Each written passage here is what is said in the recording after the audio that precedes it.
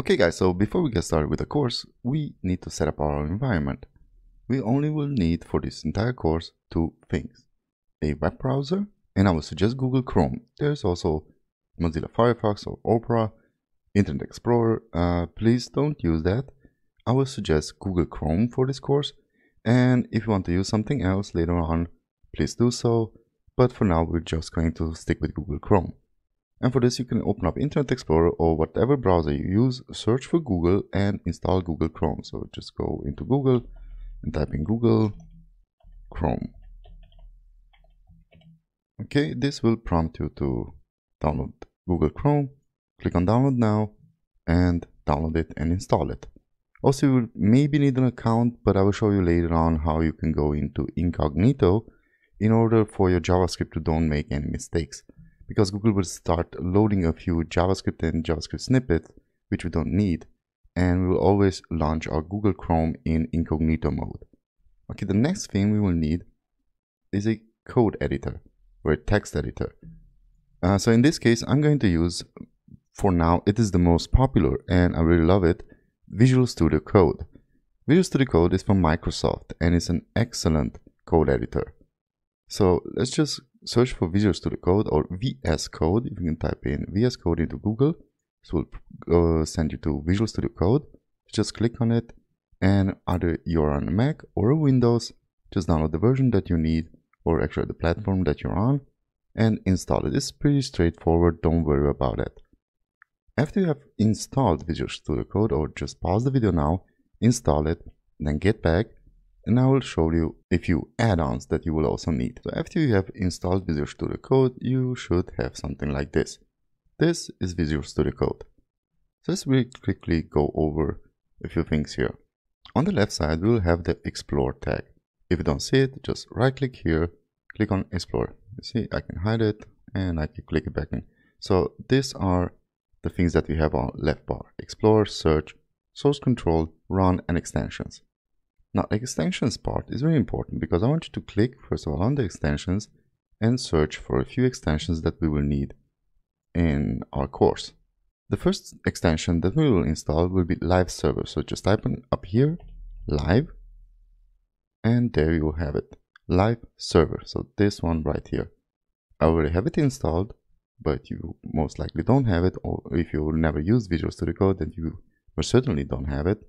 And now you can install it maybe it will prompt you with a restart and restart Visual Studio Code. And if not, install all of the all of the extensions that I'm going to show you and restart it later on. But after you are finished installing all of them, please restart Visual Studio Code in order for all of for all of the add-ons to work correctly. Now, next, I would suggest to use bracket pair colorizer. So just type in here bracket, and uh, it's already it's already there. Bracket pair colorizer. This just colorize the different brackets that you have. As you can see, we have here a purple color and it ends here. And here we have a blue color bracket. So this just colorizes your bracket and also your parentheses. You can see here you have a purple and then a blue parenthesis. Okay, next extension that would suggest to install is code spell check. Type in code spell check and this will check your code if you spelled it correctly. And believe me, this is really useful because in JavaScript, when you don't type something correctly, it will prompt you in an error and you have to search that error and it takes up time. So as soon as you start typing in something, you see here the example and it's not typing correctly, it will prompt you with an error. I will show you later on how you can fix it. Also, I would suggest to install HTML, HTML and CSS support, this one right here. It's an excellent support for HTML and CSS, although we are not using that much HTML and CSS, but when we're going to get into string literals and you will type in HTML and CSS in your JavaScript, this will be pretty helpful. You will see later on. I would also suggest to install Prettier. Just type here prettier. And what this does is it just automatically organizes your text. So, so you don't need to do that indentation constantly. And the last extension that I would suggest to install is JavaScript ES6. This will just install a few snippets for the ES6 syntax.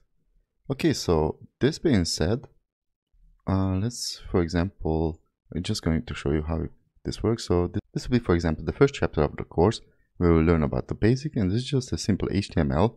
And if we right click everywhere, anywhere in this HTML and click open with live server, this will open up the web browser. So this is just, just a local server. So for example, down here, you can see we're running on port 5500 and also up here, IP address, port 5500 and index.html. So this is just a local server on your machine. So instead of right clicking a file, a HTML file in your Explorer and open up it, open it up with the browser, HTML uh, live server will actually create a server and open it in the browser. Now as you can see I'm in incognito mode and I'm going to show you how this works. So go down here, the manage tab, then go into settings, then search for browser. Just type in browser and down here live server settings custom browser. Down here you would choose Chrome private mode. If you're using Firefox, you can also choose Firefox private mode. I'm going to just really quickly show you how this works. So as soon as you you select it, you can close the setup, go into HTML again, open with live server, and this will open up Firefox. As, again, it is in incognito mode.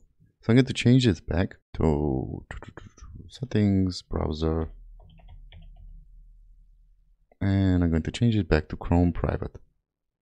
And this is because I don't want, uh, for example, right click on your browser, inspect, and we'll see here in the console nothing is loaded excepting our own JavaScript. Okay guys, so that's pretty much it for this lecture. See you soon. Bye bye.